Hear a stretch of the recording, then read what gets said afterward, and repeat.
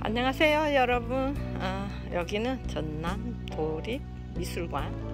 여기 광양 읍권에 있는 어, 미술관인데요. 어, 규모가 굉장히 큽니다. 전남 도립이니까 어, 규모가 크다고 볼 수 있죠. 어, 저기 일전에 제가 한번 어, 저기 그 실내 미술관 소개한 적이 있었는데요. 오늘은 그 바로 앞쪽에 이렇게 또 광양 예술 창고라고 이렇게 또 있습니다. 아, 여기에 또 초대전을 아, 제 친구랑 음, 또몇 분이 초대전을 하고 있어서 제가 아, 잠깐 들려서 한번 그림 몇 점 여러분들께 소개시켜 드려 볼게요. 음, 전국적으로 비가 굉장히 많이 왔는데요. 여기 광양은 비가 조금 왔어요. 오다 말듯이. 그런데 아, 이 그림이 참 정겹고 참 좋죠. 어, 벤치에 설치된 음, 조각품인데요. 그림이 아니죠. 조각품인데 참 정겹고 쟤는 제 눈에는 너무 어, 좋아 보입니다. 여기도 보면 참 정겨운 음, 작품이죠. 카페가 또 있어요. 어, 커피나 음료를 마실 수 있는 공간이 마련되어 있어요. 미디어 영상관이 이렇게 따로 준비되어 있습니다. 잠깐 들어가 볼게요.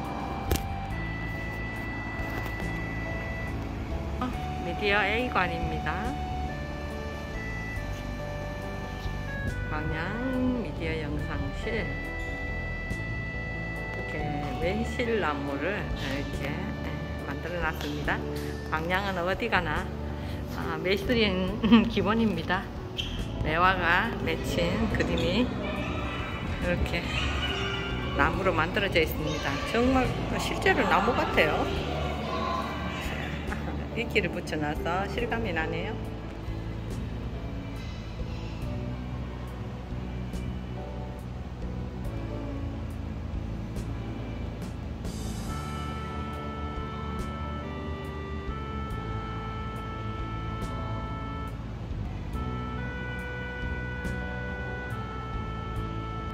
광양예술창고 갤러리 초대전 안에서 정화복 선생님, 강정석 선생님, 우리 이다남 선생님 이렇게 세 분이 5월 24일부터 6월 13일 화요일까지 이렇게 갤, 어, 예술창고 어, 이렇게 복도에 이렇게 따로 어, 사진전 하는 그곳에 전시되어 있습니다. 여러분들 많이 와서 한번 감상해 보세요.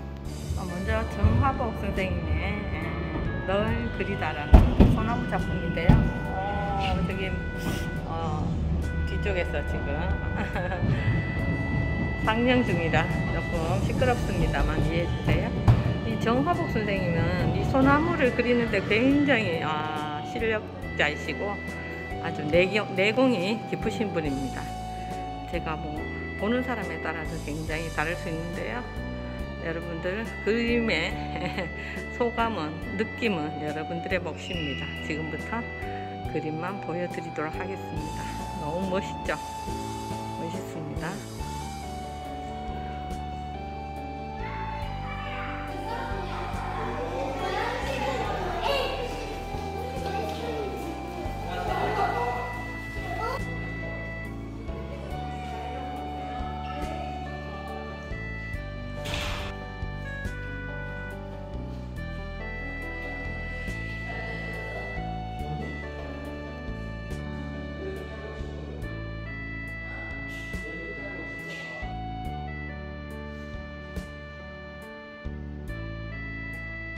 예, 이 그림은 도라지꽃이라는 제목의 이다남 작가님의 작품입니다. 아, 색감이 아주 어, 살아있죠? 어머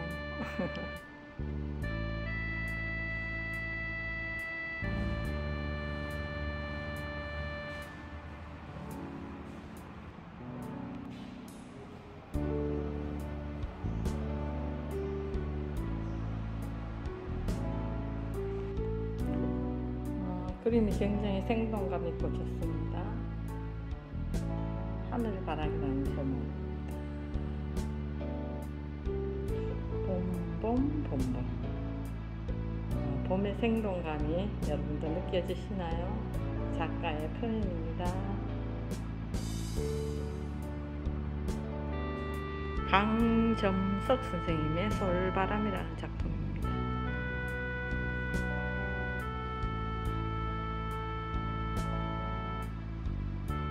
쉼이라는 제목의 그림인데요. 한지의 수묵단체 강점석 선생님의 작품이고요.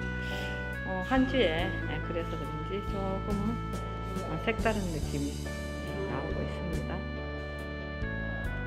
아, 요즘 능소화가 피어난 시즌인데요. 아, 담 옛날 기와장에 이렇게 그려진 능소화가 정겨워 보이죠? 여름의 대표적인 꽃 능소화를 그리셨습니다. 한지 작품입니다. 한지에 그려진 작품은 뭔가 조금 느낌이 다르네요.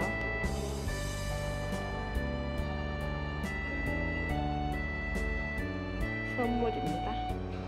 음, 소화 작품이고요. 어, 그리움이라는 제목인데 담장 넘어 그리움. 담장을 타고 넘어오는 그런 어, 능소화의 특성을 잘 살려서 그리신 것 같아요.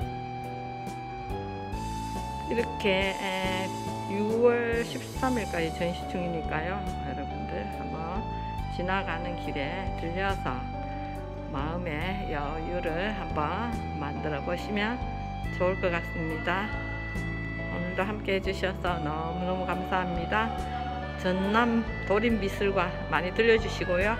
요 예술창고에도 잊지 말고 예술창고는 바로 앞에 있습니다. 입구에 들려서 어, 문화산책 한번 어, 하기 쉽지 않잖아요. 우리 생활하다 보면 바쁘게 지나가다 보면 어, 그냥 쉽지 않아요. 그래도 한 번씩 짬을 내서 이렇게 들리시면 또 마음의 여유가 더 생기지 않을까 싶습니다. 여기서 마치도록 하고요. 다음에 또 뵙도록 하겠습니다. 감사합니다.